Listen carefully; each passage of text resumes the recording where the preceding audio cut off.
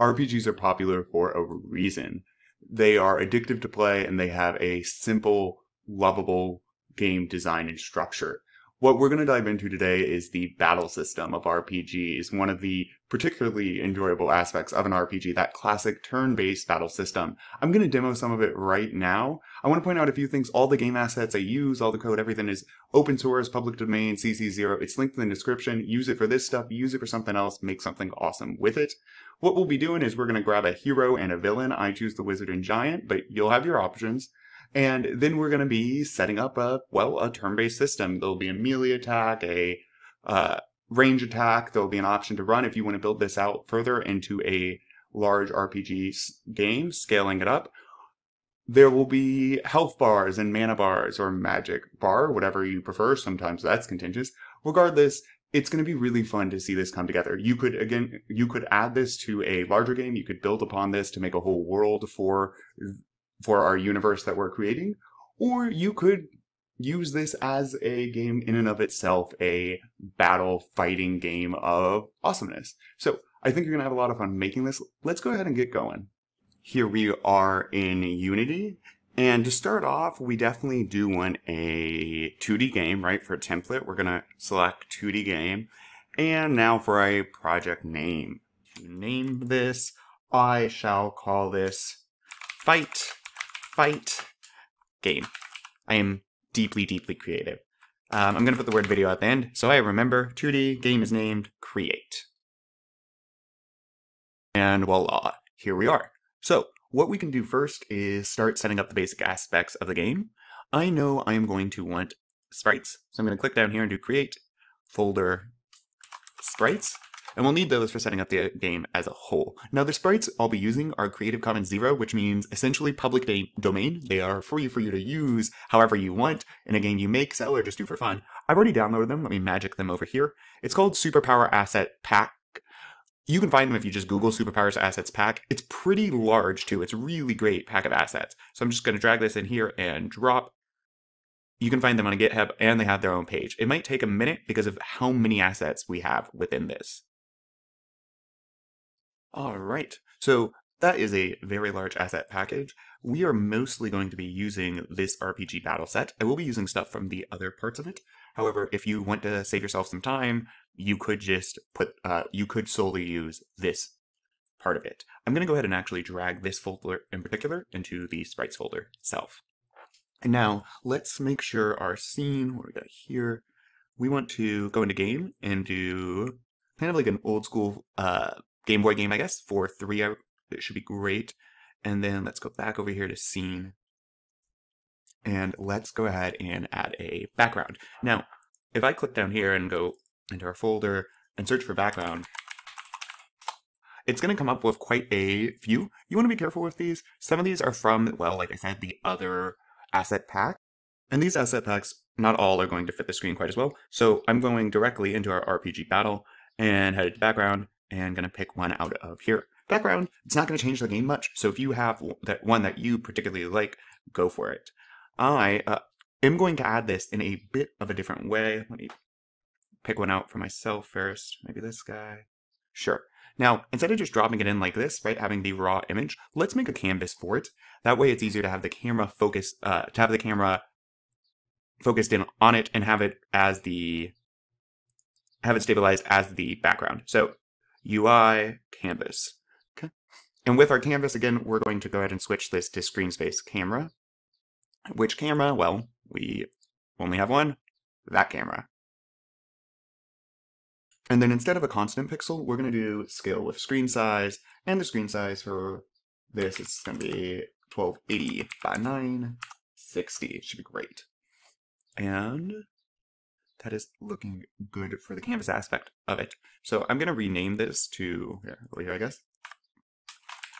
background canvas because I am creative with naming. Now, to this background canvas, I'm going to right click and do a create image. And this is where we'll actually put the background that we want. I was going to use this, drop that there, and then set native size. It's getting better, but we are going to want to increase it. Since we did set the size of this canvas ourselves, we know the size we would like. So I'm going to click right here, and I just want a little bit bigger than the edges of the canvas, so I know it covers the entire space, like this. With that set, that should be good to go. And so the plan of attack here is to, obviously, we're going to get some of these visuals set up first, and then we can start animating and coding and creating the movement part of our game. All right, so we need another canvas to do that. So I'm going to go ahead, game object UI canvas. This is great. I'm going to call, uh, before I forget, let's say background image. Good to have properly named items here. And I'm going to just hide that. And then let's say this is going to be our heads up display, our HUD, if you will. I'm going to say heads up canvas. Okay. And that way, well, we know what our what it is. With that in place, let's start adding the panels we need to create our display. I, am going to use the scroll wheel to zoom in here. With this selected, we're going to game object, UI, and panel. Boom. And it's like this because we still need to actually adjust our canvas. We again want screen, screen space camera. I'm going to select our camera here. Boom. And then constant, no, we want to scale with screen size. And it will be that same. And there we are. Now, and now with this panel, let's go ahead and give it a color. This is going to be the menu area for the entire game. So I was thinking of like an orangey-ish color. Maybe something like this, maybe a bit darker. And less, something like this. Totally up to you how you want your game to look, of course. So let's boop. And then I'm just going to kind of smush this down.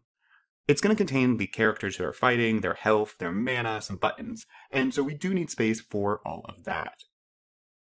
So for that's fine. And then from the top, let's test out a few numbers here. 700 maybe, and like in more of a 650. All right, 675, I guess. Okay, great. And so I'm going to stick right there with this panel, and I'll just call this main panel. And good. Now let's also, we're going to need to figure out our characters. So in sprites, in our PG battling system, let's head over to, well, characters. And it's up to you who you use. I'm going to walk through a melee attack, a range attack, and a ability to run. So you're going to want to look for or create a figure out creatively uh, figure out your own way to make those two moves happen. And my choice was the wizard. Actually, I was really liking the wizard, and so that's who I'll go with. And let's see here. I'm going to go ahead and select this guy. Notice we can't pop it out yet. And that's because we have all of these images, but we need to separate them all out. And to do that, I'm going to go from single to multi over here, and I'm going to go into the sprite editor. Oh yeah, we want to apply this. Oh, there it is. In the sprite editor, we're going to slice. Not automatic. The easiest way I find for many, many, many sprite sheets is grid by cell count. So how many columns? One, two, three, four, five, six. Let's go ahead and do that. How many rows? Looks like six again. And slice. Let's see if we need to do any changes now. I'm going to click on these squares they are looking good. Okay, well, this one was easy. Let's go ahead and then apply these. And we should be all set there. X. And now we have a whole bunch of different animations of a character. Well, different images.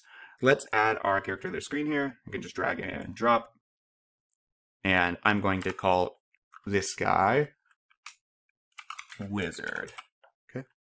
Or I can even do Wizard Hero, so we know whose side we are on. And then I want larger size for a character, so I'm gonna, maybe not 2, maybe 1.75, 1.75, something like this. Yeah, I'm liking that. X, 4.4, sure, and Y, negative 0.5. Yes. All right. Now, with that all set, let's go ahead and find a bad guy. I'm going to go ahead, though, also, since I know who my character is, I want to drag this out into sprites so it's easier for me to access, and I'm going to want to be able to use this as well. All right, and now for the enemies, I'm about to pick a monster. Of course, after you don't have to pick what I pick. I was really liking, is there, yeah, the giant. Here we are. Here's our giant. So, and it looks like we got two options here as well. Let's see what this is like. I'm going to go to multiple and then sprite editor again. Yes, apply. Ooh, okay. I'm going to be using this giant. So same deal here. I'm going to go slice. It looks like we have eight. Yes. Eight columns, four rows, and slice. That is great. That's looking good as well. So I'm going to hit apply. And we're good. I'm going to X. Same thing I did with our hero. I'm going to go ahead and grab this sprite sheet now and drop it over here. All right. And now with our enemy here, who is awesome, I'm going to go ahead and drag this guy up right about there. And giant enemy. Great. Same deal here. Maybe I'll do negative 4.4. Maybe a bit big for that, so 0.3 and then 0.4 maybe. That is all looking great. I really like this enemy. All right, that's looking good. Let's focus on our menu down here, or making it one. Let's use, we're going to add a panel for buttons. And like I said, you could use the stuff entirely within the RPG system. I really like a little background for these buttons that are in the superhero assets pack, which is entirely free. They are down here in the prehistoric plat in their HUD. Okay. And this is what I'll be using. So I'm going to go ahead and then add on the canvas, heads up canvas, I'm going to create something called, I'm going to create an empty called action menu or act menu or anything like that. Great. And in this action menu, well, we need menu items. So I'm going to create, and we're looking for image. Now what this image will be is one of these panels. So we can go ahead and drag this over here and drop it in. We also are going to want to move this down because our buttons are going to be located down here. And you'll notice mine's a bit close to actually the background I have here on my panel. So I'm going to go to my main panel and I found a color. I'm just going to paste it in here. C87F4C. And that's a bit better. So this is one part of my panel. Now we're going to have buttons laid out on this. So I need two more of these exactly. So I'm going to just call this panel center maybe. And we do know it's a child of the action menu. So I'm going to duplicate this once and then duplicate it again. And then I'm just going to move it over. And we can kind of check the game menu, the game, to see if we're liking how it is lining up. I'm going to use the scroll wheel to scroll and then click down on the right mouse button to move the screen around. So if you want to get super exact, you certainly can, but we don't need to be perfectly precise.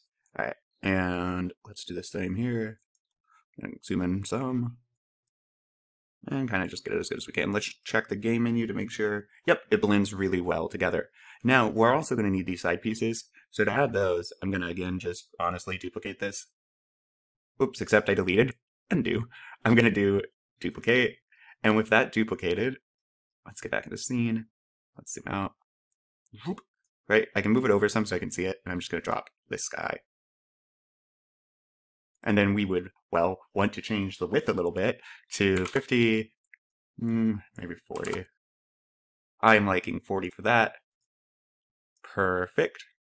And then for this, I am now just going to duplicate this one more time, and instead of, well, nah, let's go ahead and use this piece.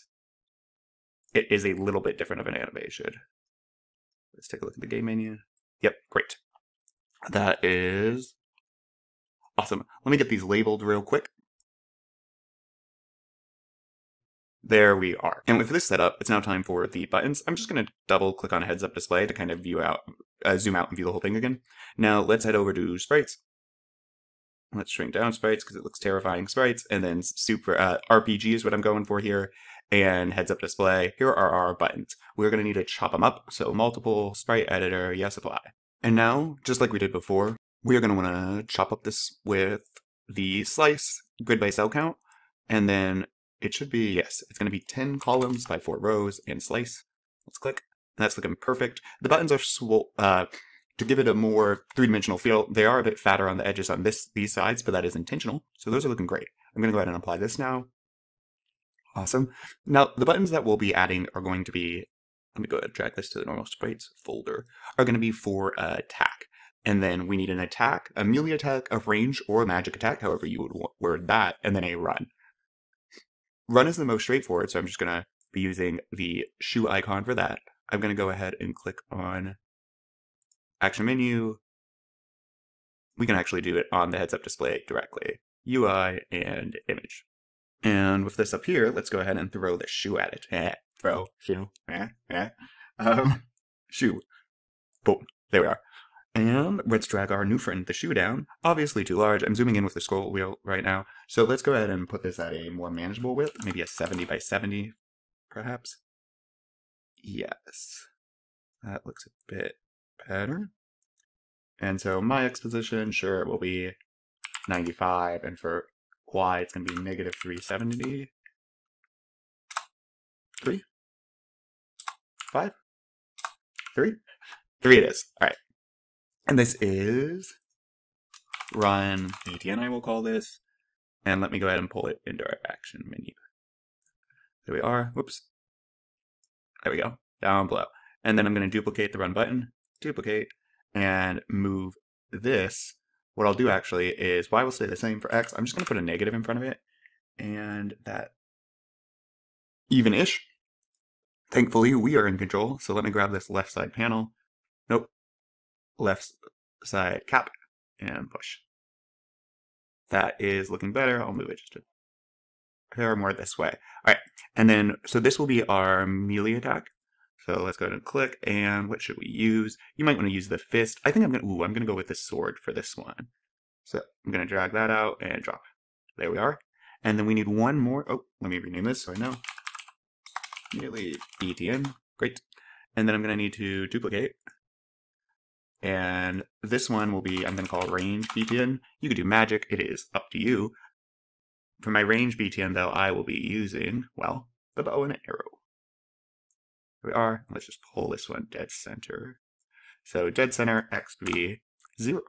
And that should line up nicely our three buttons. Perfect. Okay. Now, up next in this and now with it all together, I'm thinking we might want it a bit larger, which is fine because if we, I don't want to move these, I'm going to hold down shift and click here, highlighting all of them. I'm going to go to our scale tool and zoop. Yeah, let's test out a 1.2 and, whoa, 1.2 game. That's looking a bit better. Might even go to 1.3 1.3, not 1.6 game. Yes, that's perfect. Great. All right, so now we have our menu ready to rock. And with the basics of our HUD in place, with our buttons ready to go, in the next episode, we will dive into producing, getting to making character movement and a bit of interaction in our game.